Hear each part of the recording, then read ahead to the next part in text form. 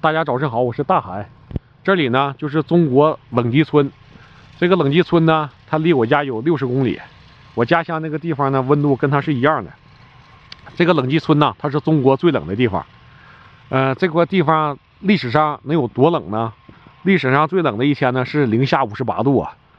呃，这块都有记录哈。完了，他们都把这个零下五十八度，你看都雕在雪上。呃，之前吧，这块是一个温度计，就是这个，就显示每天的温度。因为现在这个这个这个这个地方呢，经过去年的给改造呢，把原来那些房子啥的全都扒了，这都是新建的，所以说这个灯呢，现在它也它也就没亮。要之前呢，就是每天监测多少温度啊，什么湿度是多少啊，呃，从这块开车往县城去的时候，就路过这块都都能看见，都老大个字了，都可醒目了。啊，今天让大家看看这看看这个你冷极村是啥样的啊？因为马上快开化了嘛，好，看看是什么样的。呃，那些吧都是餐都是吃饭的地方跟住的地方。完了，我后面这块呢就是就是雪雕，看看这个雪雕。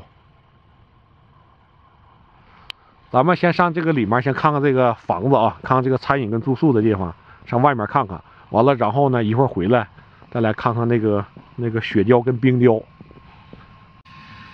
这块就是吃饭跟住的地方了。前几天呢，有很多朋友问我，他说这个地方啊，这个冷冷极村这个雪每年什么时候能化光啊？呃，每年五月份哈，就是五月中旬左右吧，所有的冰，所有的雪，然后就全化没了。嗯，还有很多朋友问我，他说什么时候就来这是最好的？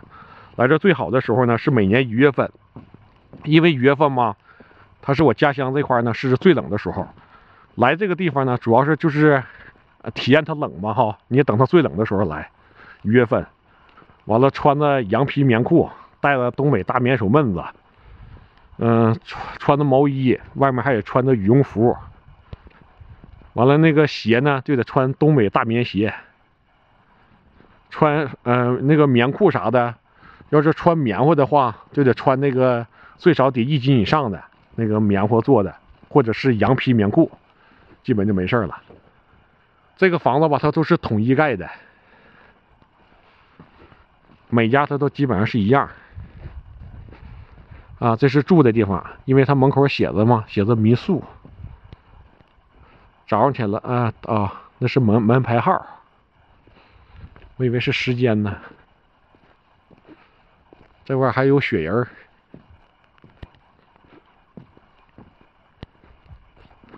整体呢这块吧就这个情况了，再往前面走呢，它那个房子的结构呢，它也跟它是一样的了。大家看看这个房盖上这个这这个这个房盖这个板，这个板呢就恢复到我家乡这个五几年跟六几年左右的时候，那个年代盖房子吧，这个房盖呢也没有油纸，也没有铁皮呀，啥也没有，就用这个板给压上，把一个木头，呃，用斧子给劈开，完了上下开始压，都是这种。啊，给压上。他这么整吧，就这个房子这么盖呢，就是恢复到你以前的意思了。这面已经到头了，前面那个呢是火车道，是火车。我家乡那个地方嘛，它有火车，它有汽车，唯一唯一一条铁路。整体就这个情况。咱们现在去看雪雕。咱们来看这个雪雕啊，我已经走走到地方了。这个中间呢写着“中国冷极村”。制造这个雪雕的时候吧，那个挺费劲。他用那个那个胶合板，就是盖房子那个打模板那个房子那个那个胶合板，给他定一个架子，然后拿那个装载机把这个雪呀全部给装在里面，完了再冻它个一两天，再把这个模子板给打开，然后开始雕刻。看看这这这挺费劲，这也需要得不少雪，因为那个雪吧它飘轻，这都就往上还得压呢。过几天等到化的时候呢，这块还得找个装载机啊，还得把它给搓出去，要不这块地下化的全是水。啊，这边还有吃饭的地方，那个屋子里面是个雪房子。嗯，这也是个雪房子，但是这门门锁了呢。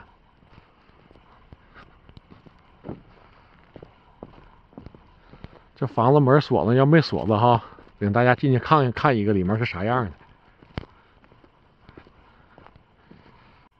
这块还有一个滑雪的地方，就是坐了那个那个轮胎往下滑。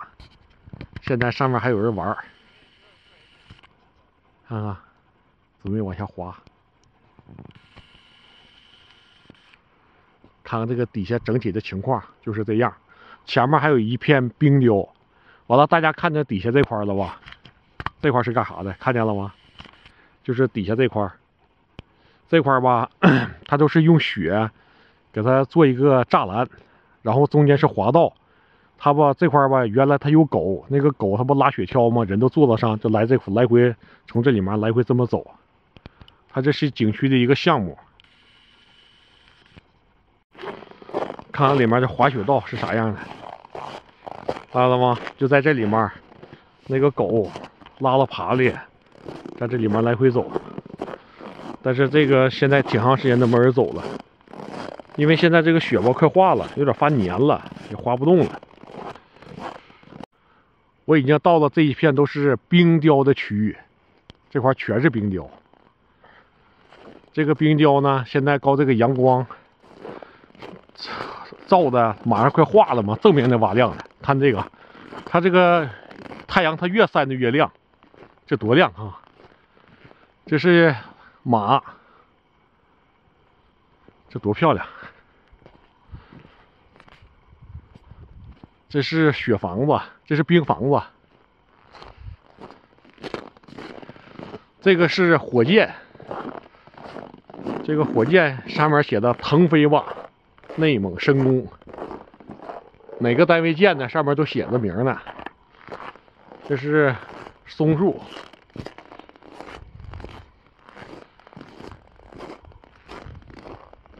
这也是个马，这个马哈带翅膀的哈。这个是摩尔道嘎，摩尔道嘎是一个猎局的名称。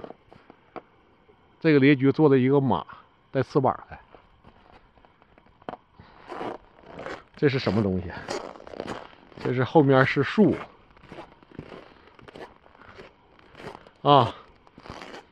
这是几个字儿？倒了。你看，这写个中碳，点碳成金，点碳成金。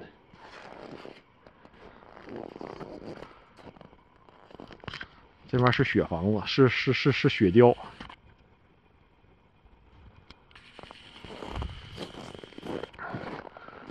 这是凤舞九天，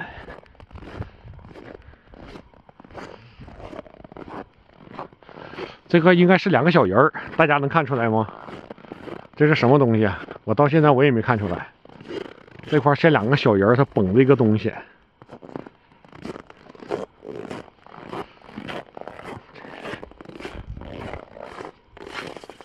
壮丽，壮绿增金。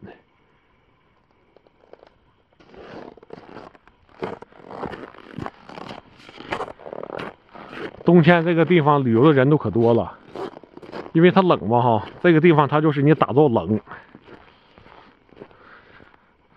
啊，这是有鱼。现在吧，它这个冰化了以后。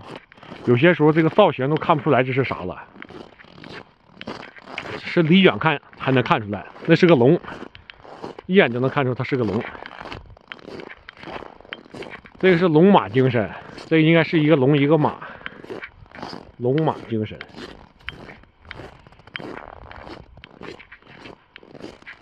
那个龙挺漂亮，那个龙，民族团结一家亲。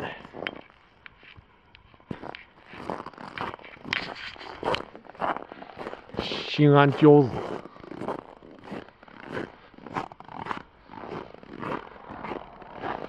这个这个真漂亮哈！看这龙头，这个是龙头，那个龙头龙嘴里这个珠子它也有，那个是个酒杯，古代那个酒杯，这是个啥？这也是个龙，这不是是龙头吗？这是龙的牙，这也是一个龙。这个冷极村呢，整体就这个情况。让大家看看是啥样的哈。完了，大家要是有想来旅游的呢，有想体验冷的呢，就冬天来就可以了。我看刚才那块还有个雪季摩托车也停在那块，他可能雪季摩托车吧能开到前面那个山里去，那里面应该他还有一个项目在那里面。现在回家，我到家了，开始把昨天大家在我后台下单的野生木耳给邮走。嗯，这个木耳呢是纯野生木耳，这个木耳泡完了以后呢是非常肉头的。有很多朋友问我，他说这个木耳是怎么吃呢？把这个野生木耳抓一把出来，放在水里给它泡开，然后你要是炒着吃、涮着吃，直接下锅就行了。你要是凉拌的话，必须得焯一下子哈，就打个那水焯，那凉拌就可以了。这个木耳泡完了以后呢，是非常肉头的。呃，一点碎的没有啊，因为我妈呢过了有两遍筛子，把那个渣子沫子全过滤出去了，把好的给大家给邮走了。像那个渣子沫子有网友要，然后我都免费送给他了。呃，大家要是有想要这个野生木耳的，就是点击视频下方的链接，然后下单就行了。要是找不着链接呢，就是点击主页，然后在主页里面点击店铺，在店铺里面呃找野生木耳。要是实在是再找不着呢，就上抖音里面搜索“清泉大海”。然后在小黄车里下单就行了。下完单以后呢，每天都发货啊。我现在开始包货，